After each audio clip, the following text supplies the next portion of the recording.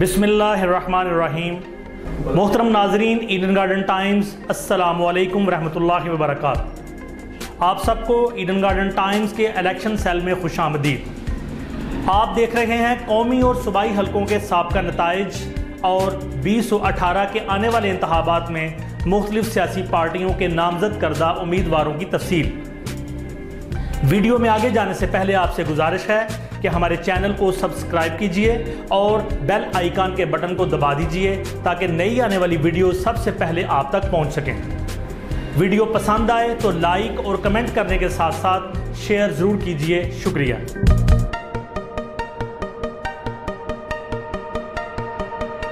Respected viewers آج ہم آپ کو ضلع لاہور کے قومی حلقہ این اے ایک سو چوبیس لاہور دو لے کر چلتے ہیں۔ دو ہزار اٹھارہ کی حلقہ بندیوں سے پہلے یہ حلقہ این اے ایک سو انیس تھا، لیکن اب یہ N A one twenty four Lahore two ہے۔ یہ تقریباً اندرون لاہور کے علاقوں پر مشتمل ہے۔ ہم سب سے پہلے جائزہ لیں گے اس حلقہ سے دو ہزار دو کے انتخابات کا۔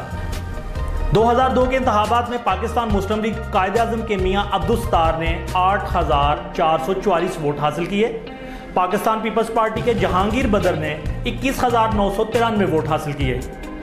پاکستان مسلم لیگ نواز کے حاجہ سعد رفیق نے تینتالیس ہزار ایک سو سولہ ووٹ حاصل کیے۔ اس طرح حاجہ سعد رفیق دگنے سے زیادہ ووٹ لے کر کامیاب ٹھہرے۔ رسپیکٹڈ ویورز اب ہم آپ کو احوال سناتے ہیں دو ہزار آٹھ کے انتخابات کا۔ ان انتخابات میں حیرت انگیز بات ہوئی۔ وہ یہ کہ دو ہزار آٹھ کے انتخابات میں حمزہ شباشیف کے مقابلے میں کسی بھی امیدوار نے اپنے کاغذات نامزدگی جمع نہیں کروائے۔